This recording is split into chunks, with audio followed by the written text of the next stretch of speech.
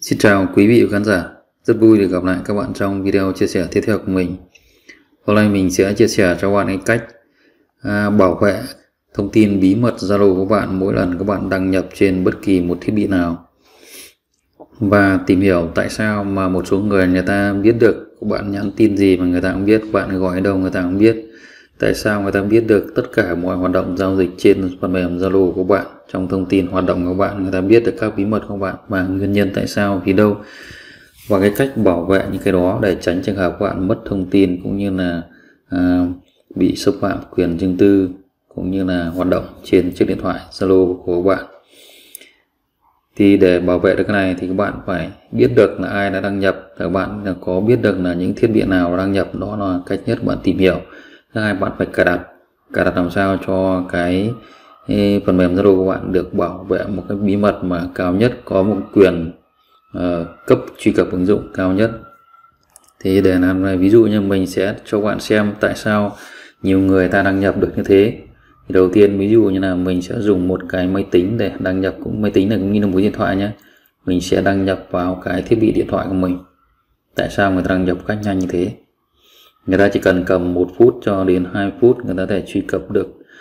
Chưa đến một phút, người ta truy cập được vào Zalo của bạn và người ta sẽ dùng mọi dùng song song chiếc điện thoại của họ với chiếc điện thoại của bạn. Bạn nhắn tin gọi đồng người ta đều biết thì cái nguyên tắc của nó là nếu như người ta đăng nhập trên web, thì phần mềm web đó thì nó sẽ đăng nhập vĩnh viễn trên đó.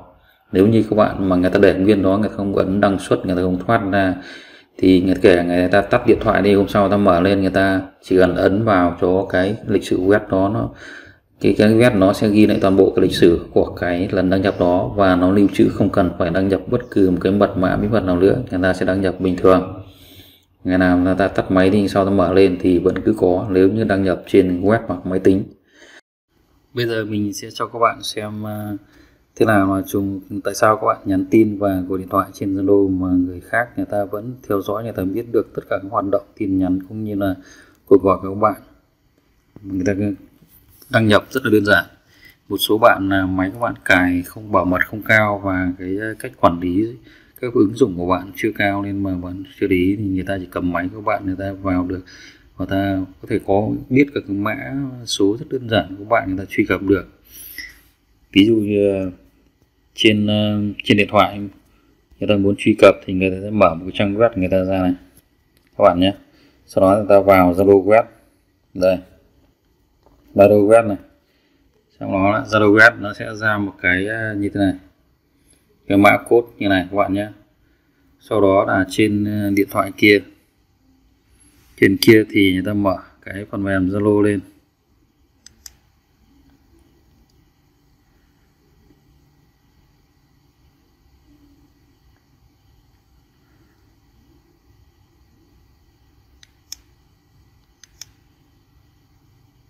Đó, trên điện thoại người ta sẽ mở cái Zalo lên này đó sau đó người ta sẽ mở cái uh, quét mã QR trên điện thoại của họ. Sau đó họ sẽ quay vào cái chụp cái quét cái Zalo bình thường rồi cái mã QR trên chiếc điện thoại nó sau đó họ sẽ ấn đăng nhập. Đó. Như vậy là cái uh, đã đăng nhập được vào điện thoại các bạn nhé. Đó. Rất đơn giản. Và hai điện thoại này đang dùng song song hai cái uh, hai cái ờ, Zalo uh, giống nhau. Đó. Một chiếc điện thoại này dùng cái Zalo đây các bạn này. Đấy. các bạn nhé.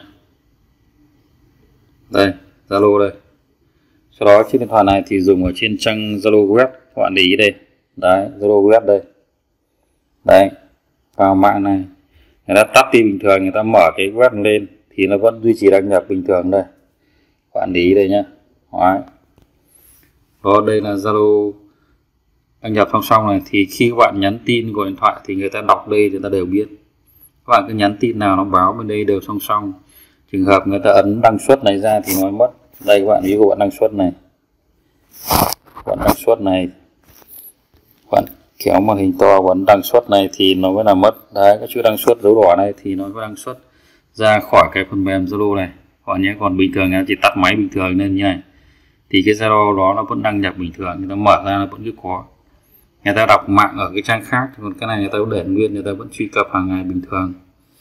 Còn bên trên chế độ thai kia, nếu như các bạn à, không cài bảo mật cao thì bạn không thể biết được. Đó là cái trường hợp mà các bạn à, dùng Zalo và để lộ thông tin mà người ta biết được, đó đấy cũng là một nguyên nhân. Người ta vào rất nhanh, hai người có thể đăng nhập bằng cái số điện thoại thì khi nhập số điện thoại thì trên điện thoại này sẽ gửi về một mã OTP và người ta nhập mã OTP vào thì người ta cũng đăng nhập luôn được. Đó các bạn thì để phòng tránh những trường hợp này thì các bạn làm như nào? Thì sau đây mình sẽ giới thiệu cho bạn cách để các bạn phòng tránh nhé.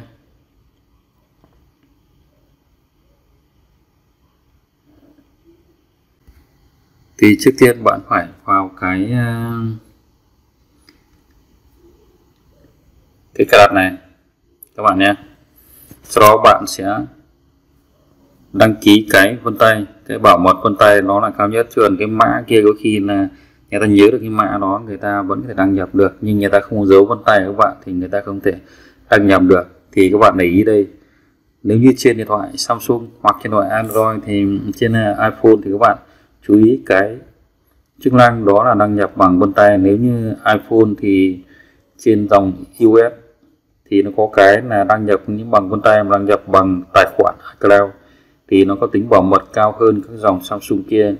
Một bậc thì các bạn dùng iPhone có thể đăng ký cũng như vân tay đăng ký là mỗi lần truy cập ứng dụng nào đó thì đòi quyền đòi hỏi cái mã bảo mật bằng cái tài khoản iCloud. Thì các bạn đăng ký đấy cũng là một cái bảo mật rất là cao. Còn đối với dòng điện thoại à, Samsung thì bạn chỉ cần là đăng ký vân tay đây nhận diện vân tay hoặc khuôn mặt của các bạn. Nhưng khuôn mặt này nhiều khi người ta chụp bức ảnh, người ta đưa lên, có khi nó cũng nhận diện được.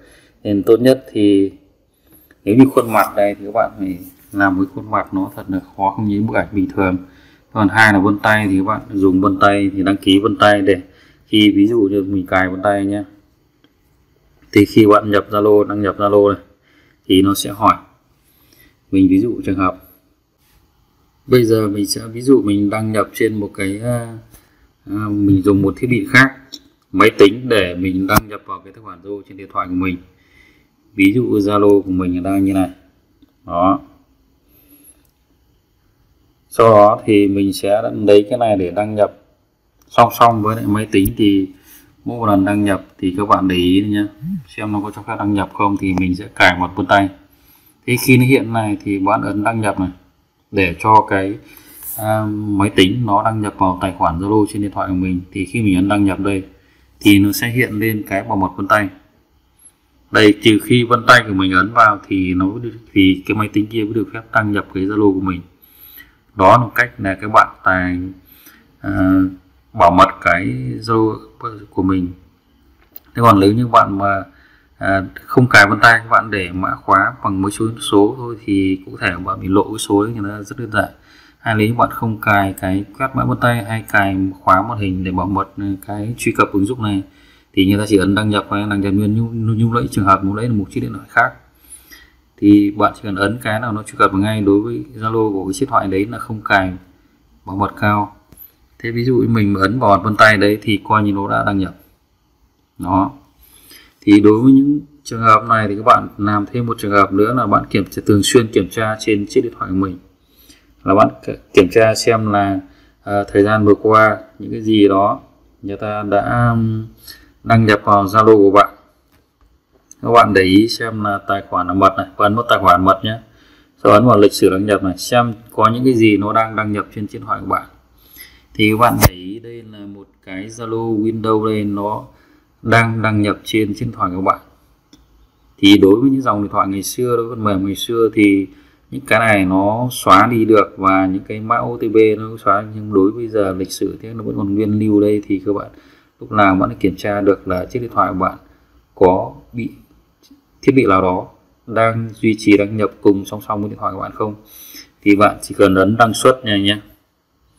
Nó ấn đăng xuất này là coi như cái thiết bị kia là hoàn toàn là nó sẽ không còn đăng nhập được nữa. Thì hôm nay mình ờ, chia sẻ cho bạn cái cách để bảo mật Zalo cũng như là những trường hợp làm sao mà các bạn biết được là tại sao người ta theo dõi những tin nhắn cũng như là các hoạt động trên Zalo của bạn. Thì để các bạn tránh và đề phòng những trường hợp như thế, thì hôm nay mình sẽ chia sẻ cho bạn cách bảo vệ cái tài khoản Zalo của mình. Thì các bạn thấy hay với hãy chia sẻ video này và hãy đăng ký kênh để tiếp tục nhận được những video mới chia sẻ tiếp theo của mình. Mình xin chân thành cảm ơn các bạn đã theo dõi. Tạm biệt các bạn.